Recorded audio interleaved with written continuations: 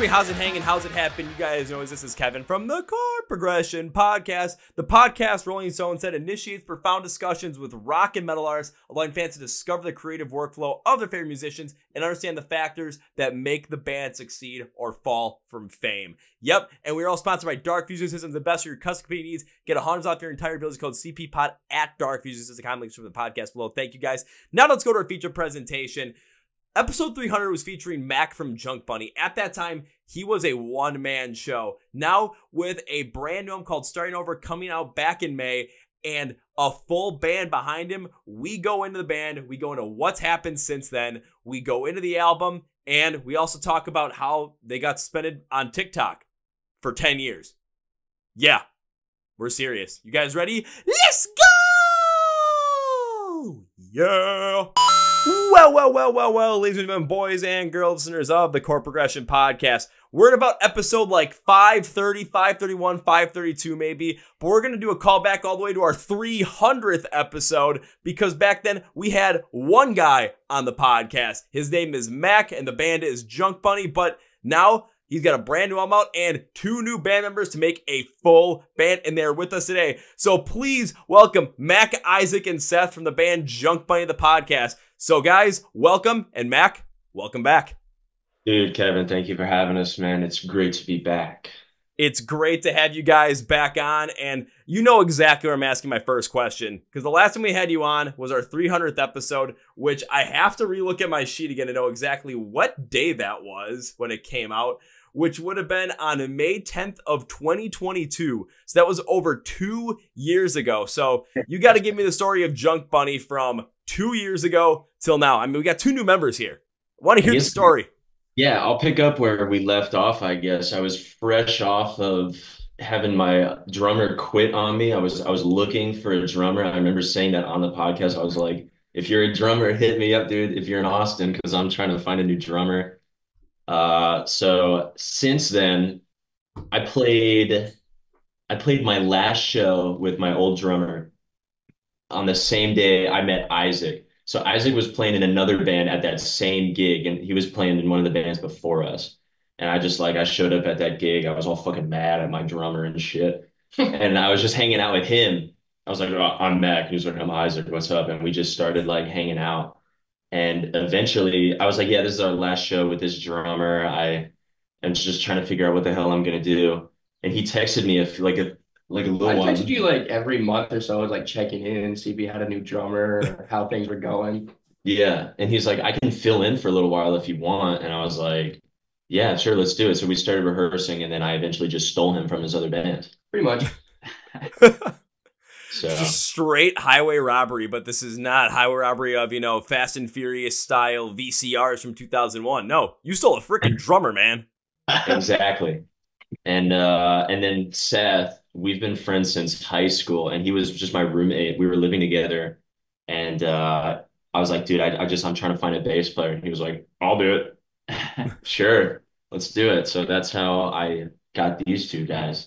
And since then, we yeah, we I was just say we've probably been playing. I think we started playing guitar at the same age. Yeah, like when we were like what nine years old or eight. something. Like I was eight, eight years old. Yes, I was in like second grade. So. He, he's a better guitar player than I am, honestly. So no. he is a good good on bass. Basically, is what I'm trying to say. He's uh comes up with some nice little licks.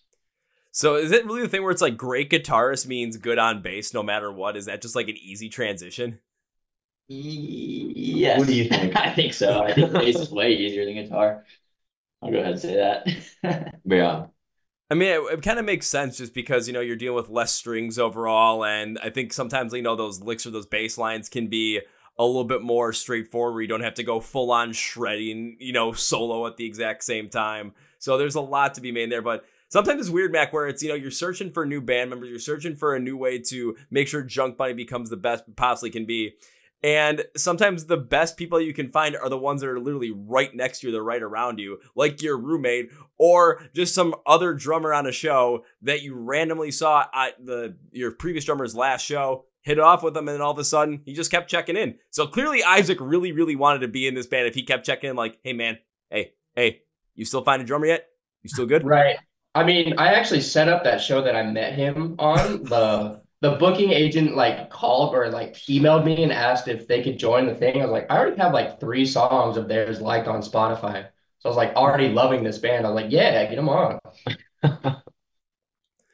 That doesn't Yeah. surprise me at all, though. That's just, you know, i i- it's crazy how the world kind of works in that sort of way where you, you know, you know about the music, you, you like this band, and through sheer happenstance, you get put in the situations where you get to meet each other, you get to see how each other is, you get to you build that, that chemistry up together, and then before you know it, it just so happens that you guys all end up joining the band together and you create what is now Junk Bunny going forward. Like there's a lot here and there's a lot of bands that, you know, when they are struggling to find new members or they're struggling with member changes, it's like the biggest issue ever. Of course, because you're trying to find the right person. You're having to go out and search, maybe online. Maybe you're going to be trying to set up auditions for people locally in your area. You're trying to find all these people, and you all have to make sure that you know you click together because you might be the best musicians overall, but there's no chemistry there, then the music's just not going to sound good. Yeah, I got lucky with Isaac, but Seth was definitely uh, like an easy, an easy because he'd been working with us when like with the other two band members doing a bunch of stuff already anyway. He filmed, edited, and put out uh, our two music videos that we had for Sedona, or not Sedona, uh, Summer Song, another Summer Song, and See You in Heaven. He did those videos by himself. He took all our photos, like all our photo shoot stuff. So he was already there, like doing a bunch of stuff for us. So he was like a super easy, like definitely made sense to try to do something with Seth. So now, Seth, are you still doing that stuff for the band? You know, vi- music videos, photography, or now it's like, you know what? No, I'm a part of this band now. Oh, Somebody well, else's duty. It's a little harder to take photos of us whenever I'm on stage. uh, so we luckily have somebody else that is really good at that, um, who also happens to be his girlfriend. But Yeah. um, anyway, uh, but yeah, no, I mean, I still we I definitely help out like setting up like if we're setting up lights for to shoot something or like you know He's like a lot of the brains behind setting up like different shots and and stuff like that. So that makes sense though. And and not only does it work out where, you know, especially Seth, you have the eye and you have the mindset for that. But of course, being the band, helping make the music as well, and really being a full part of it, you get that embedded knowledge that, you know, maybe Mac's working with or maybe Isaac's working with when it comes to the idea for these music videos, for these shoots, on how to actually position this to get the idea that you want to show up properly the way the music is being presented towards the audience, whether it's, you know, through those pictures, through the live show with the light setup, or just through the uh, video setup overall. yeah exactly. Yeah, I Yeah. agree. We do video for like work also, so it's just it makes it a lot easier to like have the knowledge of how to like make content and stuff, especially now.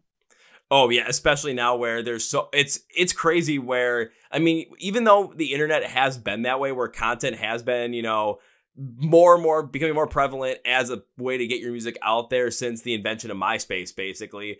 But since the pandemic and since short form video like TikTok, Instagram Reels, and YouTube Shorts have become so popular, there is so much more pressure put on artists to create just content so that they can essentially be seen on the internet and have a chance to connect with people that are just, you know, scrolling through and hopefully maybe because of the way you created it, because of the caption, because of the content in it, that algorithm ends up picking up and putting in front of people that you really want to get in front of that could potentially really like your music.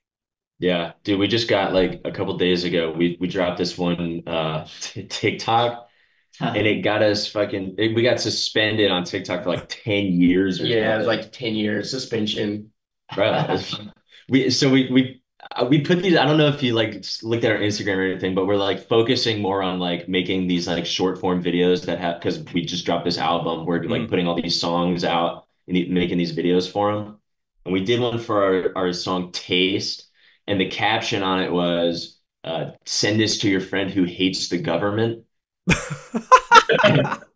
And it was fine on Instagram. It was fine on uh, like YouTube Shorts, but TikTok like the next day hit us with the 10 year suspension. Yeah, it sucks. So we're trying to figure that out right now. That that's kind of weird to me. Just not the fact that you know the length of suspension, but just the fact that it happened overall. Because you look at some of the content on TikTok. I mean, having a caption for some band trying to promote their music by saying "tag the, or like take this or send this to a friend that hates the government." I've seen some shit on there where it's just like it's just like how are how is this being promoted? Whether Yeah, it's, you yeah, know, overly sexualized content or even overly political content, even some stuff that, you know, if you ever put it on TV, then you would end up be- being put in jail by the FCC. But just a simple thing where it says tag your friend if, you know, whatever, and you're getting banned for 10 years. But then Instagram and YouTube are like, eh, that's funny. What the hell? So I guess our next move is we'll all like get naked or something, get super sexual, and then we'll be okay. We'll start oiling up Isaac probably. Yeah. I'm really Just- hairy, but we could try it. just just oil yourselves up, wear speedos, and just start you know dr- like dry humping the ground like Jack Black did when he was dressed as Thor. That's Yeah. probably what it would look like. yeah. Don't take our if anybody's listening, don't take our idea. That's that's our next our next batch of reels is gonna be all that. So It, it's just gonna be overly suggestive videos by Junk Bunny just to really get you in the mood for the music, or it's just you know just ro- robe uh, like wearing a robe in a nice chair, fully open with a cigar, just like yeah. we'll be like that guy. Have you seen that guy on Instagram who's always like giving advice to local bands and he's always like waving that cigar around? He's always like, Don't do local band shit. Have you seen that guy? Yeah, I've seen that guy. We could do shit like that guy, do that, do his vibe just naked. Just do hit just do his vibe or honestly just it, it- it's kind of weird but you could potentially take all the lot of the like the more popular ones that are on those instagram reels tiktoks youtube shorts just some of the crazy stuff they do and just do it but just do it in a weirdly suggestive nature just to see what would happen like uh, yeah the don't do local band shit just do it maybe not even with a full cigar with like a bubblegum cigar edit like some smoke to come out of it and then just do it real slow and just in the background just make sure there's some lo-fi music there to really set the mood Mhm. It's actually a really good idea. That's not Aesthetics all in. yeah. And then, So- then after that you know then we're gonna see isaac looking at a video of probably mac or seth doing something stupid and calling them delulu for it okay. Yeah, there you have it. then he'll call you know, then mac he'll call you like delulu pro max and you just come up with a subscription that says delulu pro max and like what's the price subscribe to junk bunny Junk Bunny OnlyFans, we could start too. Oh yeah, there you go. Man. Yeah. Uh, honestly, if you did it in a specific way, that might really work. Because this this is where I'm going with this. I still Okay. remember this was yeah earlier this year when I kept seeing like freaking John Cena apparently started an OnlyFans, and I was like, what is going on? And it was all to promote that movie Ricky Stanicky, where he just I, I was like, okay, I gotta go check this out now. Just because if John Cena is being this ridiculous to promote it, there's got to be something funny about the movie. Was the movie okay? Eh, it was fine. Anytime John Cena was in it, it was freaking hysterical. So I was like, okay, now I'm even more curious to see where this is gonna go. But it was him literally just I can't remember what like he was even posting on there. I just looked in like the Twitter responses they posted the picture of it. It wasn't anything like overly suggestive. It was just hysterical to see that he had an OnlyFans account under the name Ricky Stanicky. Yeah. Okay. That's pretty fun. Well, anyway, we're trying to fucking sort out our TikTok thing. Yep. But definitely that's one thing we've been doing is trying to focus on like these short form videos. I bit the bullet because social media is like definitely our least favorite part about this whole thing. But we're we decided to just get after it. We have all these songs that we think are pretty good, so we may as well get to promoting them and trying to get them out there in front of people. We end up having fun while we do it though. Uh, Yeah. Recording it, even though it's hot when we do it outside most Yeah. of the time. It's like 100 degrees here right now, but Sweating. Well, we had to figure out like the way that we want to do it. And Yeah. instead of trying to like copy and paste Mhm. what all these other like kind of like corny videos we see on Instagram are. Yeah, we try not to make it feel like a grind or something we have to do. Just have fun with it. Because I mean, once you get out there and you start making the videos, it's fun. Yeah. It's Like we're it's fun to set up and shoot and go to like different locations and do this stuff. So that's the main thing is just keep doing stuff that we enjoy, you know.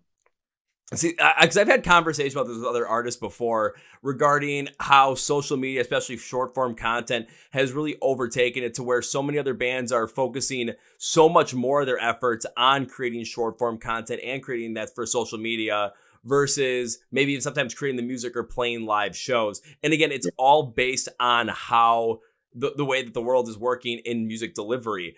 And there is the positivity behind it that I think you guys are seeing now, where you're finding ways to make it work for yourselves and how you want to do it and have fun with it versus how I think a lot of other artists end up seeing it too, which is just it's another piece that you has been added on to the overall uh, weight that is making music, the burden that is trying to get your music out there, which it is a love that you do, but it is harder on the business sense if you don't want to do the business side of it. And when it comes to trying to get, you know, popular and get noticed on those platforms, so many people aren't being as creative and they're just kind of taking over and uh what's the best way to put it? Kind of copying what's being popular. So it's not as genuine, it's not as authentic and it ends up being a struggle. I had a conversation with Lauren Babic from Red Hand Denial, and she's like saying the same thing where it's, yeah, she could do all these different like, you know, TikTok trends, but just like then it just feels like overall work and then it takes away from the enjoyment that is the art of making music.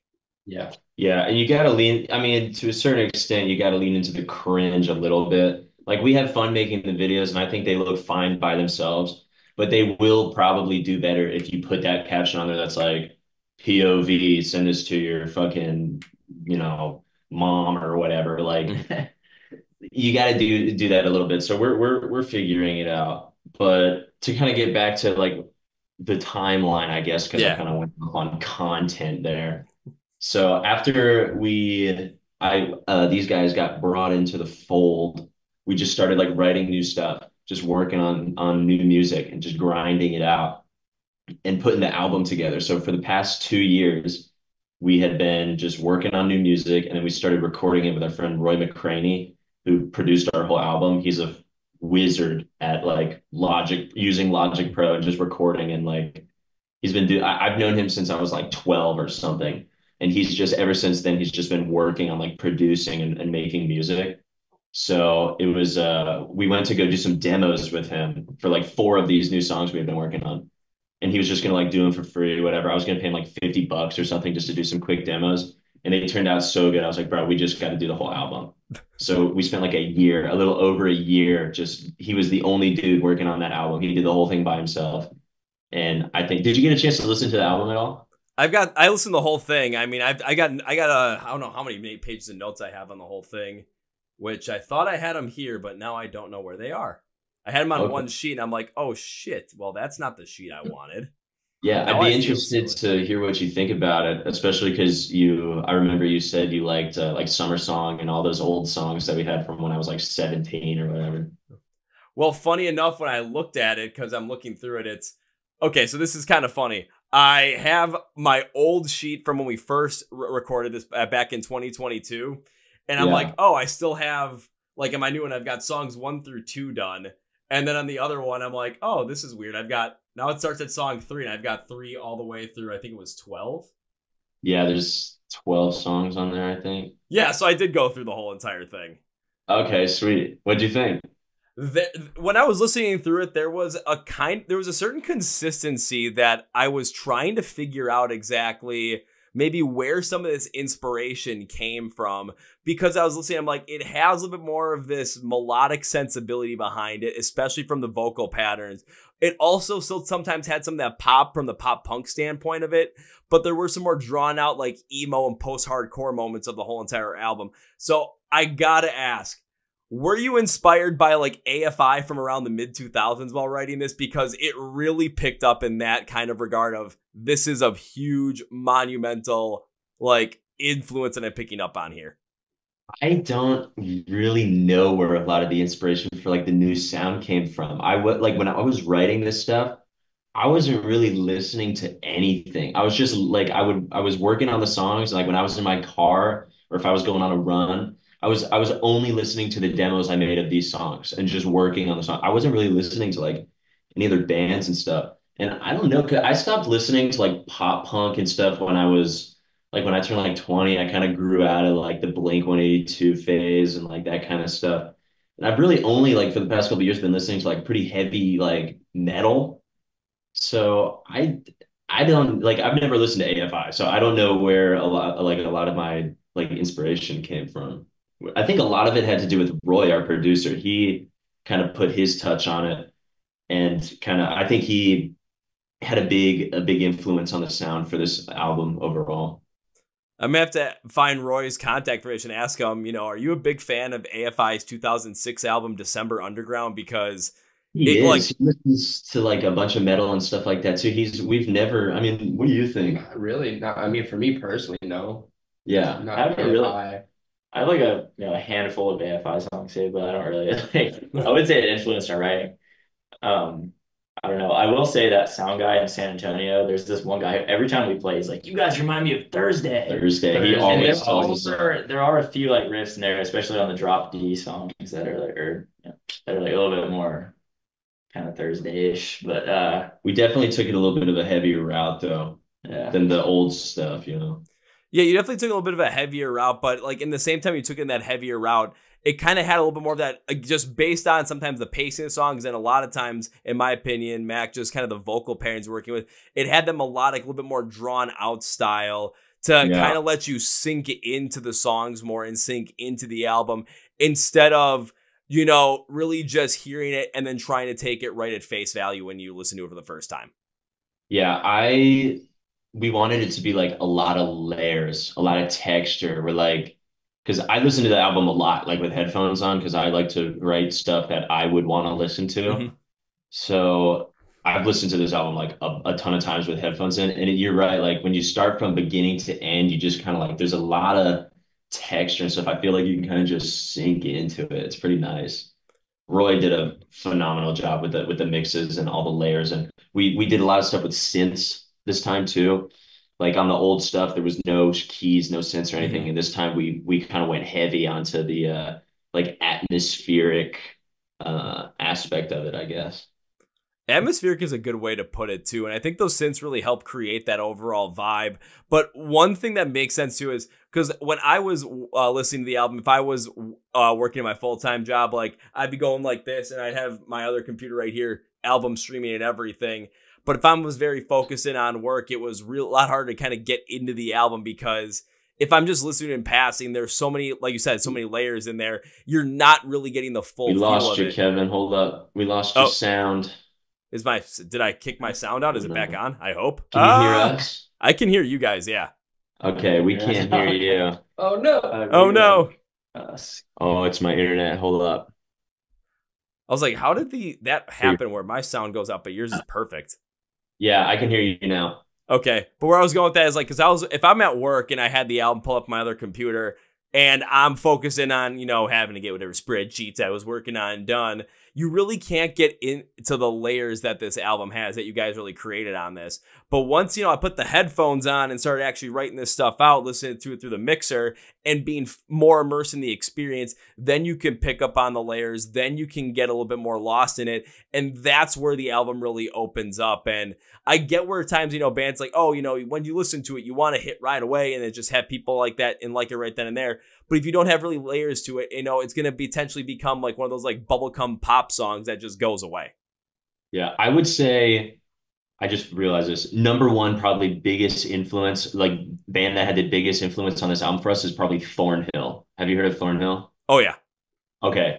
Because we were huge. Well, I don't know about you, but me and me, Seth, and Roy are like pretty big Thornhill guys.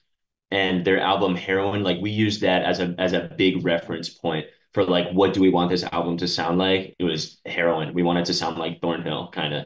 Because they do some, I think we're kind of similar to them now in a way. We're getting heavier. We're getting we're getting like they they started off pretty heavy and they're getting a little less like they're not going heavy, yeah. they're getting kind of less heavy, but we're getting a little. We started off not so heavy, and we're kind of medium. I feel like we're kind of. That's a band I would love to go on tour with, dude. I'm actually seeing them in July again for like the third time. I fucking love Thornhill. Wait a minute. Who are they playing with in July again? Because I, I, dude, they're playing with Invent Animate, which is like my Yeah. dude. Heavener, their last album is like my favorite album. It's like my album of the year. I love that album. Uh, so I'm psyched for this show. It's Thornhill. I, there's a, a band that's opening that I don't know who they are, but it's them, Thornhill, Invent Animate, and then Northlane. oh, the opening band is Windwaker. Windwaker. Yeah, I don't know who that is.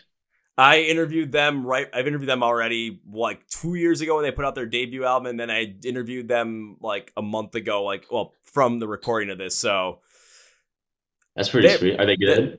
they're fun. They're they'll be a lot of fun. And, but what I know you're talking about with Thornhill though too, because when Thornhill started out, they were uh, they were heavier. They had that heavy sound. But when Heroine came out, it was you know or Heroine, whatever you however you want to pronounce it. I probably messed it up, but it's like they got less heavy, but they end up having a little bit more of that like vibing kind of drive, which really kind of brought the heaviness down a little bit. Where Okay. you guys, you guys weren't as heavy, but then you guys picked it up, but you still have more of that like vibing melodic, you know, Yeah. atmospheric feel, which is what Thornhill picked up on, which is where I can see that clash of overall influence really coming in now. Yeah, I think another probably good inspiration as far as like the atmosphere and like synthy stuff goes and melodic stuff stuff would be Loathe. Loathe is another one Mhm. of our favorites. Yeah, I can So- see that too. Way heavier than us. Way heavier than us, but we definitely take some influence. I just can't scream. That's my problem. I don't know. I don't even know if I would if I could, but I mean, you know, I think I think those are probably some two of our like biggest uh influences on this album. Again, that's kind of it's interesting just to see, you know, where you guys were, especially Mac, where you were when I first interviewed you two years ago, and now where you are at this point in time after the release of this new album from back in May. But it does take a very interesting turn. Just Yeah. given the fact that, you know, we see a lot of bands when they're trying to form new or they're trying to go something, it's always they usually start out heavier and then they kind of mellow out or lighten out as they go on. You guys, it's like, okay, you started out more on the lighter, a little more of the uh, you know, like sparky side, I would say. Now it's more atmospheric, it's heavier, it has that certain vibe to it. And it has the ability to even get heavier, given the fact that you're using influences like Thornhill, who, if you go to their older stuff, is going to be heavier, and Loathe, which still has that vibing atmospheric feel, but especially on more of the heavier metal, sometimes close to hardcore style of things. Yeah, yeah. I, I just I, I try to be careful because I don't want to lean into like the metal aspect of it too much because then you start to lose people. And I like to I like to keep it kind of like I don't know. I didn't want to yeah, because Roy like he wanted to do some stuff like go heavy. And I'm like, man, we gotta be we got like I always tell Isaac, no double kick band. I don't want to I don't want to lean I don't want to lean too far into it because I just uh I don't know. I kind of want to stick to s- a certain kind of Something almost like poppy, not like not pop, but approachable. People like a wider audience, I guess, is what you would say. Yeah, I don't know. I just kind of I like to blend stuff, I get, or we like to blend stuff, so I don't want to lean too far into one direction or the other, I guess. I, I like where we're at right now. It's kind of like right down the middle. It's there's heavy parts and there's not so heavy parts. It's very melodic and catchy, I think. So See, I, I can kind of see you're coming from there, but again, especially from an artist, it all depends upon what you want to do with your art because you never know what happens if in another two, three years you guys just get all of a sudden the inspiration to screw that rule. We're going double kicks today. But at the same mm-hmm. time, it, what it gives you the ability to do is, especially I understand where you don't want to necessarily go heavy. And like what you said, Isaac, where you still want it to set, potentially be on more of the approachable standpoint from a more larger audience. But what you have the ability to do is is go in those heavier aspects of metal and use some of those from every time every now and again to put in as an influence so you continue to expand the sound but then it's more of a it's not the base of the overall sound. It's more of this little complementary piece for this one specific part of one specific song because it makes sense. It's stuff like that where you can really not only expand your overall music side of things play around with other styles but still keep it in exactly where you want to while having the diversity of overall sound to continue to build up the overall repertoire that is Junk Bunny's uh, back catalog or future catalog. yeah, I think we have a pretty unique sound. I Yeah, think we so. have. Yeah, I wouldn't. I don't think we're a metal band. Did, would you say that? I don't. I, I definitely don't think Would, would, metal. would I call you guys a metal band? Absolutely not. Yeah, see, that's like that's what I'm trying to avoid, I guess. I don't want people to start thinking of us We're as like a just like a metal band. metal, We're yeah. just influenced by a lot of metal. Yeah, and, and again, it makes sense to. It all depends upon what you guys want to go for. It all depends upon what the overall vision of the band is, what the overall goal is, what the overall you know core style is, and how you want to build off of it. Yeah. Because who knows, maybe you know in the future you guys decide to try and put something that's a little bit lighter in the sound again, and just amplify that a little bit more. Still keeping the core of what you guys have, but then again, it's having these little different little bit of sprinkles of we're gonna try this here, we're gonna try this here. But at the end, when you listen to it, you still know it's going to be Junk Bunny sound because it's still difficult to try and find a band that you guys really sound like. I mean, if I'm coming up with influences, I'm not coming up with band influences.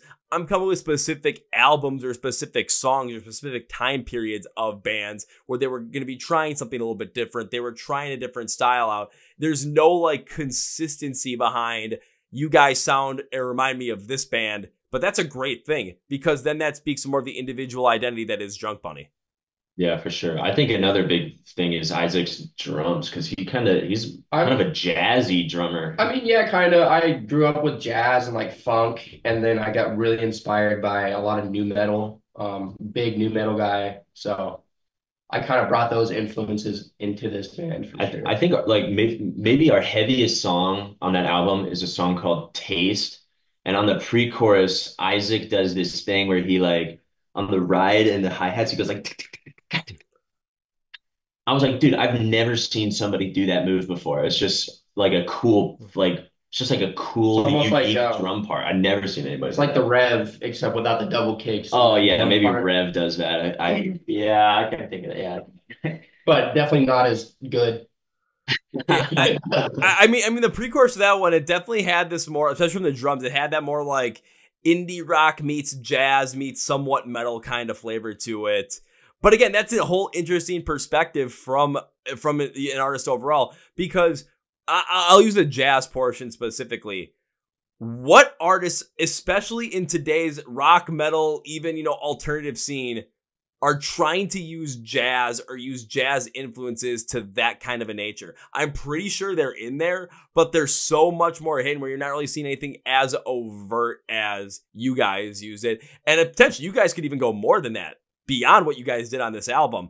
But it shows just another potential little aspect that JunkBunny can use to grow the overall sound. Not only what you guys did here, but of course going forward, which is always one thing I love about an album is if it's good, but also makes me want to wonder what's going to come next because there's so many more possibilities still yet to be had.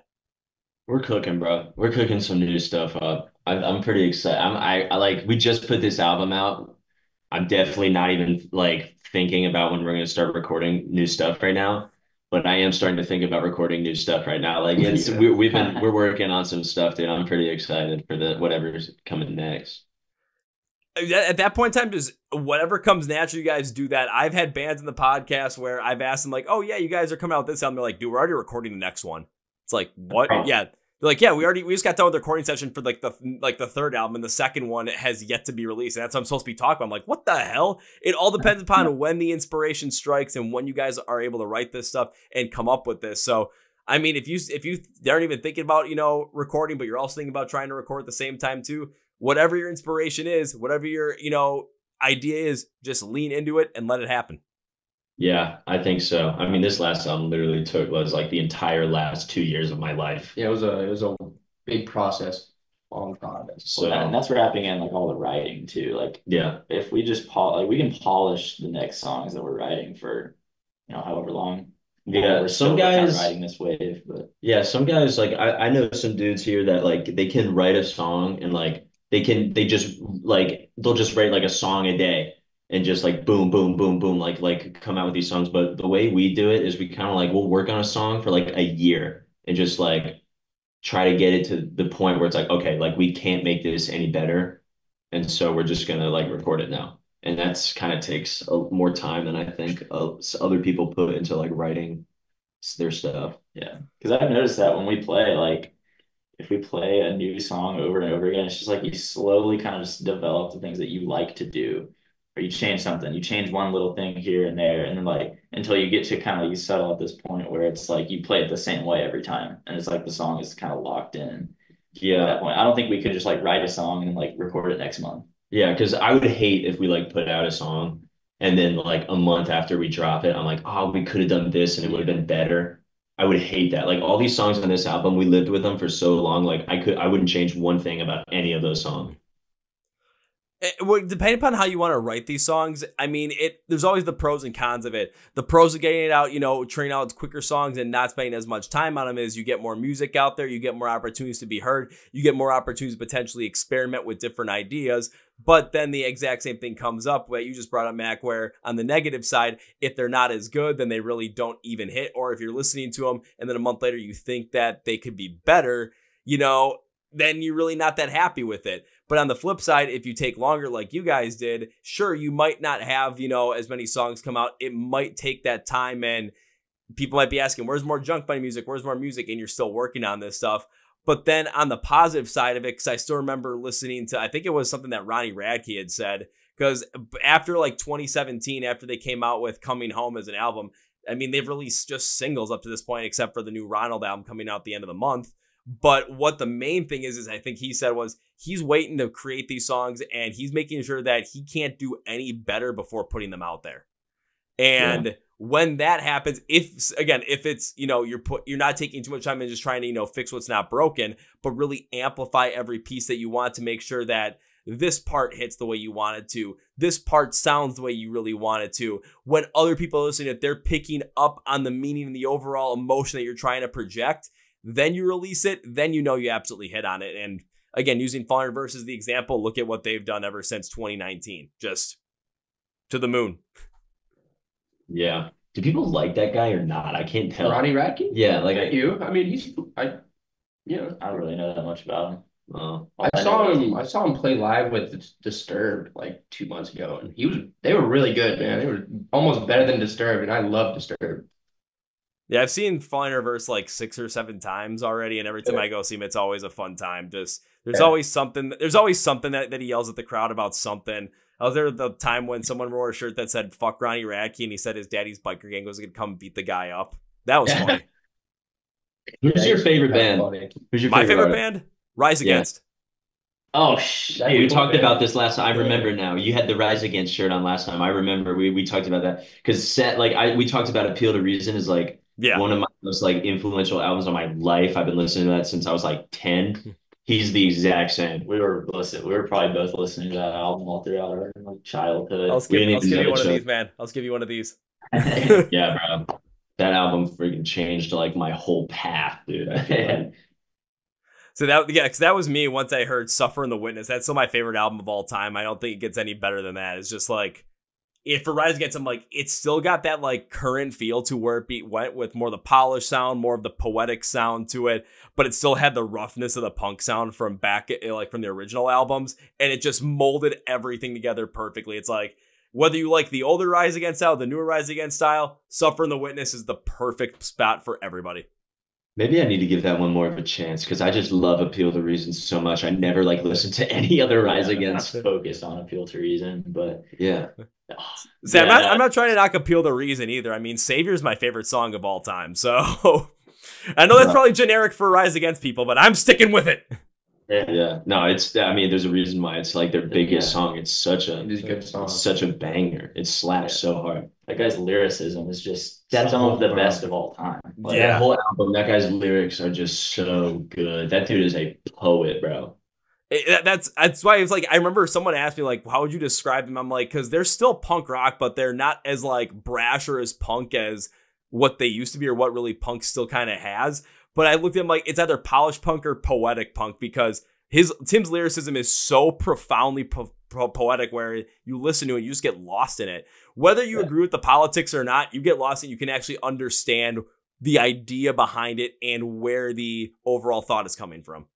Yeah, they definitely know how to paint a picture. Oh, I was about to say, it paints a picture in your mind when you're listening to it. It just makes me like being eight or being like 10 and playing like Black Ops 2 and just just listening to fucking Appeal to Reason, bro. Oh, it's so good. I, I will give Isaac some concession because I know you said you love Disturbed. Disturbed was my favorite band in middle school, and then once I, high school for me, dude. and then once I got into high school, it was. I remember I was driving to school like every single day with my brother, my our two neighbors, and one of the this one other guy. And it was like every day, either going to or coming back, we'd listen to alternative radio station and Savior by Rise Against would play. And I'm like, you don't turn this song off because I didn't yeah, it that yeah, much. And I was sure. like, okay. Then it took over. Yeah, I was a big Rage Against the Machine and Disturbed guy driving into school at like 8 a.m. just blasting that stuff. just driving to pissed off, like "fuck you, I won't do what you tell me." Yeah, exactly, dude. yeah. Yeah. Me, I'll say, meanwhile, you have Mac and Seth over here driving up to school, just playing, blasting Appeal to Reason, wondering whether or not playing Call of Duty Black Ops at the moment. Yeah. Every morning on the bus, I would listen to either um, Once More Around the Sun by Mastodon or The Hunter by Mastodon. I had an hour bus ride to school every morning, and it was always one of those two albums. I would sleep on the bus and listen to one of those two. That's not a bad idea. Just Yeah. sleep, listen to something heavy. Ah, I absorb those albums, dude. I know like every little texture piece of those albums, bro. They're so good. Yeah. Well, now to all the fine children out there that still have to take the bus to school, when you return to school in the fall, if you have an hour long bus ride, if you have a half hour long bus ride, I really don't care how long it is. Be sure to put on your headphones, be sure to put in your earbuds or whatever you do. Or if you're one of those crazy people that decides to use their speaker on their phone, just put it up to here and listen to it. Listen to Starting Over by JunkBunny, the whole album all the way through, and enjoy because you can finally get to experience it the way it's intended to by experience its layers. JunkBunny is Shrek. Ogres have layers. JunkBunny has layers. You get it? they all have layers. If you've got 43 minutes, bro, give it a rip. Try it out. It's um, I think it's pretty good. Yeah, I can't complain. Whether you got four minutes or 43 minutes, still listen to it. what is it? What do you think your favorite on the album is? Uh, honestly, and this is kind of weird, but Sleepwalking is one of my Yeah. favorites on the album. It's just so, and I'm not even on it. Like it's all like programmed drums, and I just, it's just so meaningful. I don't know. It's really good. It's a well written song. Yeah, that one we leaned super. We were like, let's have one song where we just go hard on like atmosphere, since There's not even drums. on- Well, technically there's drums on it, but it's just like we put some like some like pretty spacey shit on it. But it's like, you know, we went heavy on like let's just make a dreamy sounding song. And Sleepwalking was just like the perfect name. I feel like. What about you? I mean, yeah. I mean, I love sleepwalking. It's one of my favorites, but it's in a different category, right? It's not. It's almost like not even the same genre. So like, Yeah. Yeah, um, but I yeah, I love it. But it's a nice break. it's got to be one of the heavier ones. Like for me, like either it's either like Taste, Make Me Smile, or Suffocator. I would think. yeah. I don't know. I don't. I don't know which Out of those but- three, definitely Suffocator. Yeah, I love Suffocator mostly because it's fun for me to play, but also it's That song popped up a couple weeks ago in this town in Germany. I could see it on our like Spotify for artists like analytics. All of a sudden, that song went to like the number two most popular spot on our Spotify. I was like, what the hell? Somebody put it on a playlist called BBL Drizzy. And these two towns in Germany for like a week, people were like bumping it. And it got like 10,000 streams in like a week. And then just like, so I guess they took it off the playlist or something because fucking nobody's listening to it anymore. But I thought that was kind of funny. That is kind of funny. And honestly, Suffocator was my favorite song in the whole record, too. A lot of people, that's their favorite, which I didn't expect. I thought people would, I, didn't- I didn't, I thought that would kind of be one that people sleep on. Even before we released it, like the friends that would come out to gigs said Suffocator was their favorite.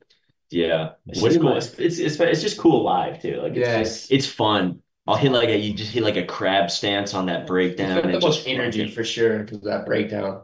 It's What- fun. What really got me on that song, it was right from the get go because I heard the intro riff and I immediately got thrown back in a full on nostalgia mode from like 2006, 2007, Yeah. playing any WWE SmackDown versus Raw video game.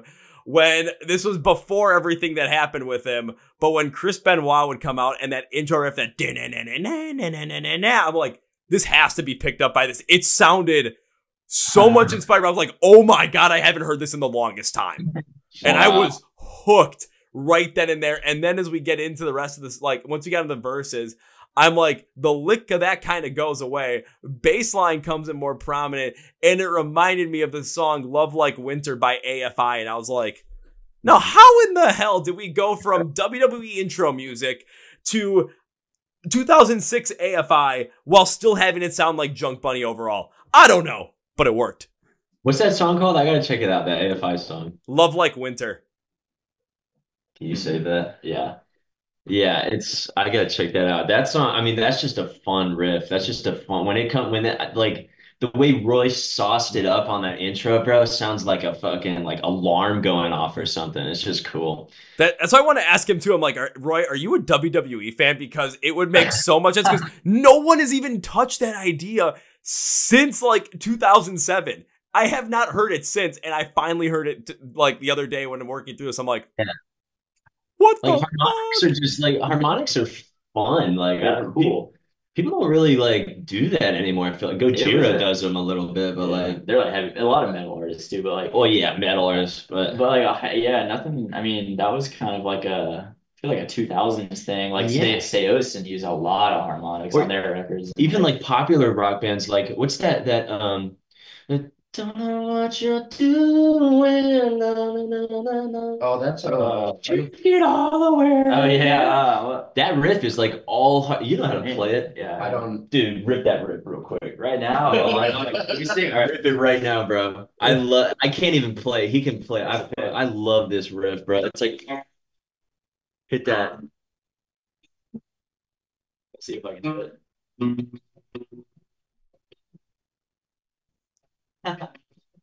I gotta blame Zoom for this one because the sound is not coming through on my end at all from it. Either way, bro, that riff is just like that's just cool. Harmonics are just cool, and nobody really like makes a main riff out of harmonics like that anymore. That you're totally right. They used to do that, and they They used to do that all the time, and they don't anymore. And it, again, it's I kind of think about it as fashion too, where you know fashion's never finished, or there's always like the trends in fashion where things will come back and, and style over and over again. I mean, take a look at back in we'll use nu metal, as perfect example. Late '90s, early 2000s, it was it was the thing, and then it Yeah. became the dirtiest term in metal outside of Nickelback. And then it kept going on, and all of a sudden, 2019, 2020 comes around. More bands are messing around with it, and now it's like it's the hottest thing again. It's just like the they're just gonna keep going like this. So all of a sudden, harmonics in a riff that's as a as like a core of it, you're gonna start seeing it probably go up and up and up. And I'll be like, hey, hey, hey, JunkBunny did it first, Yeah, dude. bitches. Got to give us credit for that one song. Yeah. It's all because of Suffocator by JunkBunny that I turned it back up. I mean, think about all the bands that you know. Oh, they started this style. They started this like they started this style, or they're the pioneers of this. Sometimes you know you look at it, it's like, well, why did that never get big? Well, I hope this one gets big and is like you know, oh, who fo- who's like the founder of like nu metal? It's like, well, Korn's still big, so eh, They are. Yeah. They are. we'll bring it back that way. Well, guys, before we wrap this up, I have one more question for you guys. You ready for it? Hit me. It is one of my favorite questions to ask bands that bring in the podcast because it allows us to get to know the music that you guys love, but also gets us to listen to more new music as well. So I've got one, two, three guys there. I'm looking for one answer from each of you. So collectively, can you guys give me three bands or artists that you love that you would love to see more people get into? Incubus, 100% is my favorite band of all time. Are you Well, that's tough, but I think I actually have my answer. Who people should listen to? That, that like maybe not a lot of people listen to. That's one of my favorite bands right now. Is Balance and Composure. Oh. Okay, hang on. I gotta. I Is that gotta- yours? No, no, no, no, no. I wasn't. I gotta look at my Balance Spotify, and bro. Composure. They're like a little. They're rock, but like they also have like a lot of like more chill stuff too. Dude, I think I'm gonna say it. I think I'm gonna say Invent Animate, bro. I I know like they're getting they're on the come up and people are are listening to them, but I am recommending this album to like everybody I know right now. Heavener. I love I I love Invent Animate. I was because I like once you once I heard Incubus, I'm like, well, that's a bigger one than Invent Animate. I'm like, yeah, more people can get into that one.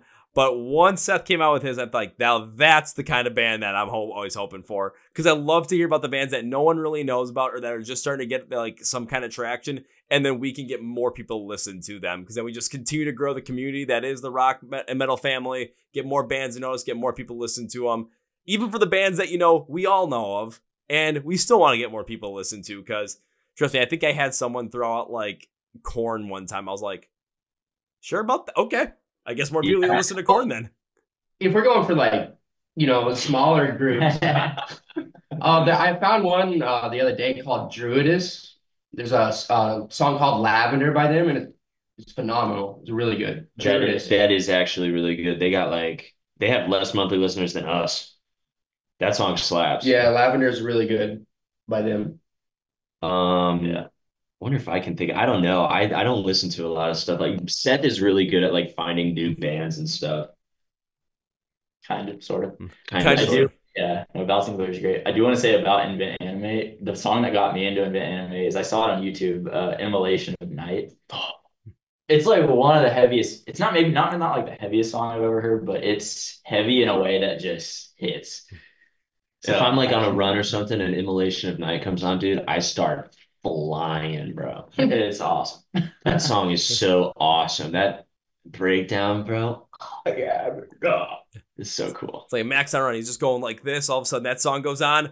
the arms turn fully parallel, and it's just Dude, these legs can get pretty long, bro, really quick. You, would, you wouldn't it. I can glide like a gazelle. well. Now everyone's got to go listen to Invent Animate so you can run and glide like a gazelle with JunkBunny. Well, guys, as we bring this episode to its conclusion, one thing to do is give you guys a chance to say whatever you want to say, plug we're going to plug, promote whatever we're going to promote at the end of the episode. So, gentlemen, the floor is yours. Uh, starting over, our debut album. Check it out. Um, we think it's pretty cool. Follow us on Instagram. Yeah, share Look- share our videos. We're send working- send this video to 12 people that you think like um love the government. love the government. Yeah, definitely like the government. If you love the government, send this video to your mom. Uh, is there anything else? yeah. Like, share, and subscribe. Subscribe to Chord Progression Pro- Podcast. Yes. Um, dude, thank you for having us again. I really appreciate it, man. It's nice to talk to you again. It was nice to talk to you again, Mac. It was nice to meet you too, Isaac and Seth. And I'm gonna have some fun cutting this one up for some like shorter content because I'm gonna use probably the TikTok you guys got banned for like not like they've been all of a sudden send this to people who like the government. I'm gonna have some fun with this one. But now it's let's have, end this episode with three things. First things first. Once again, we got JunkBunny right here, and you don't want to miss out on them. So you're gonna go to the description the podcast where it says "Find JunkBunny online." There'll be links and labels for everything where you can find them on social media, except for TikTok because that's a 10 year ban that we're not even gonna go near. Still on it. It's Like, still on. you can still find us. We just I don't think we can promote anything. I don't know if we can still post, but we're gonna find out. It's a mess. It's a mess anyway. It's a mess, so still go check it out if you feel like it, I guess. Also, go check out where you can find them online, where you can get some merch, where they're going to be playing live shows, and check out Starting Over if you have not already. And if you have checked out Starting Over, well, start it over again and check it out again. It's the perfect album. Just keep starting it over. Just keep it on repeat. Do, do, do, do, do. All that good stuff. Now, step number two. Mac, I made you a promise the first time you came on the podcast that when I see you perform live for the first time, first round's on me. I have not been able to see you perform live yet, so the promise now extends to the first two rounds are on me. However, Oh, yeah. Seth, Isaac, still first rounds on me for you guys because it's your first time here. Okay. So let's get silly, stupid drunk. Woo! I'm looking forward to it, dude. Perfect. And now as we wrap up this podcast, the third thing I'm saying is I cannot end by saying goodbye because it's your second time on the podcast, Mac. I want to thank you for that. Thank you guys for coming on. I do not want to be the last time you guys are on the podcast. I want to make sure we do this again in the future, maybe not wait 230 episodes. And I made you the promise. I got to keep it. So this is not goodbye, my friends. This is. I'll see you later. See you later, See you dude. Thanks for having us. Woo! I'm focused on my interview with Mac Isaac and Seth from the band JunkBunny, and now it's time for Kevin's final thoughts. So when I think about this band, what I remember is is you know Mac at the beginning of it from our first episode, episode 300, on how it was just him, a one man show, how his drummer was just left, and everything that was going on there. Now a couple years later, I mean, full band behind him, and as we look at their music, it's all about what they want to do with it. And I like the fact that they said they didn't want to go necessarily heavy or go the metal route because that's just not what they wanted to do. They didn't want to dive as deeply into that idea because I they felt like it limits them, and it makes a lot of sense. But if they don't dive in and they just you know dip their toes in the water a little bit, bring out influence every now and again, it can absolutely make a world of difference. And they can go lighter, they can go any which way they want. But by keeping more of that like alternative, sometimes post-hardcore, sometimes shoegazy, sometimes heavier style vibiness and atmosphere to the songs, you're able to in so many other different directions and really try this out. There's so many great things this band could do. And if you're not getting into them, I really don't know what's wrong with you. So best way to get them is go to the description of the podcast below where it says find JunkBunny online symbols for everything. You're going to be there. So be sure to go check it out. Also be sure to hit subscribe to the Chord Progression podcast right down here. If you're on YouTube, hit the follow button on Spotify or Apple Podcast. Make sure you like the episodes well, helps push in the algorithm. Find us on social media at Facebook, Twitter, and Instagram. Thank you guys from JunkBunny. I'll see you again soon. And now, that's what you guys say for listening to the Chord Progression Podcast. My name is Kevin, and you guys know how I end every single one. I'm a big, healthy, and hearty. See ya! Yeah.